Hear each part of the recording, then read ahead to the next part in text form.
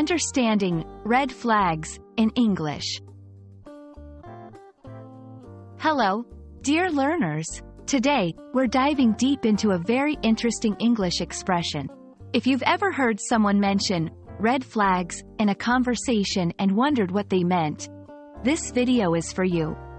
We'll uncover the meaning and origins of this phrase, and by the end, you'll be able to use red flags confidently in your own conversations. Remember, understanding such phrases can really boost your fluency and make you sound more like a native speaker. Historically, a red flag was used as a signal of danger or a warning. Imagine ships on the sea or trains on the tracks. They'd raise a red flag to alert others of potential hazards or to signal that something was wrong.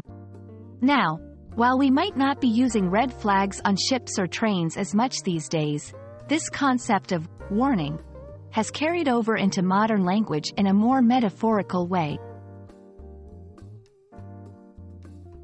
In everyday English, when someone mentions red flags, they're talking about warning signs or indicators that something might be amiss.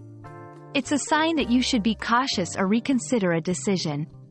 For example, if someone says, there were a lot of red flags in our conversation, they mean that there were many signs or indications that something wasn't right.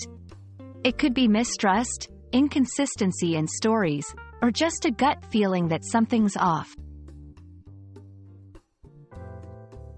Red flags can pop up in various scenarios.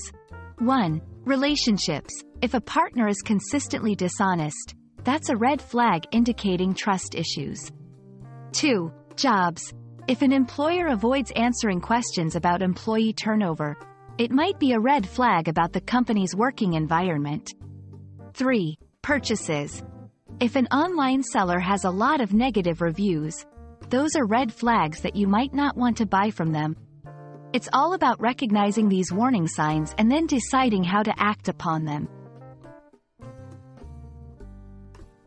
And there you have it.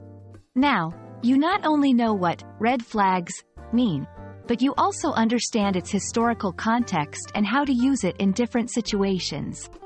Remember, language is filled with these colorful expressions, and understanding them will certainly enrich your English journey. We hope this video has been helpful, and we look forward to exploring more interesting phrases with you in the future. Until then, happy learning!